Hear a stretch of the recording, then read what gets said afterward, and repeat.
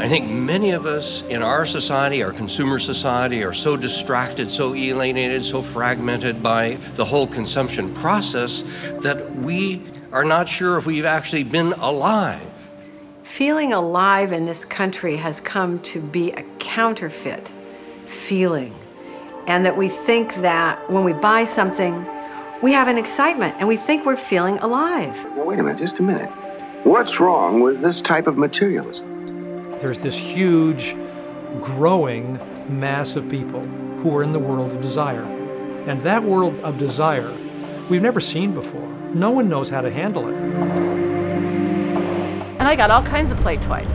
Coffee maker, espresso machine. Okay, that would be fine in some ways if it were sustainable in a financial sense or an ecological sense. When you look around, it doesn't look like there's anything wrong. We've done an awful lot of damage on this planet.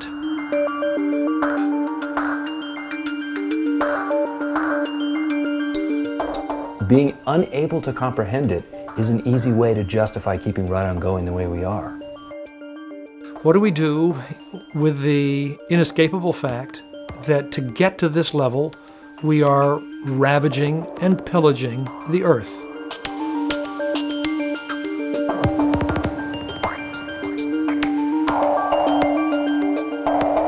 When we've seen something wrong, we've, we've set about to change things. Ultimately, it takes each an enlightened citizenry. It takes each one waking up and being fully responsible. Our history is fantastic. We're a great people. We have a great future.